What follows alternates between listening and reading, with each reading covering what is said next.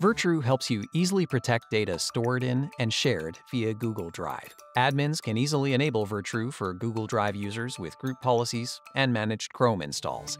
Virtru data protection for Google Drive is embedded into the native user experience. Using the New menu, document creators protect files upon upload, or simply dragging and dropping the file from their desktop. Users can apply granular access controls, disable resharing, watermarks, and expiration. Virtru's client-side encryption, powered by the trusted data format Open Standard, prevents unauthorized access and ensures files stay private. Virtru supports end-to-end encryption for the most common file formats, including Microsoft Office, PDFs, PNGs, and more. Users can protect native Google Docs, Sheets, and Slides files by creating encrypted copies of the related Microsoft Office file formats. Accessing protected files is easy for collaborators using the Secure Reader's seamless authentication workflow.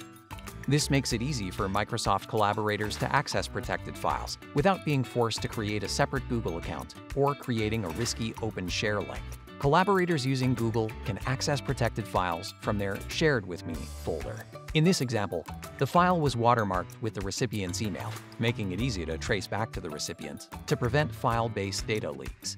With these data-centric protections and secure file sharing workflows for Google Drive, Virtru helps organizations protect files wherever they're shared. Schedule a demo today to see how Virtru can help you collaborate with confidence.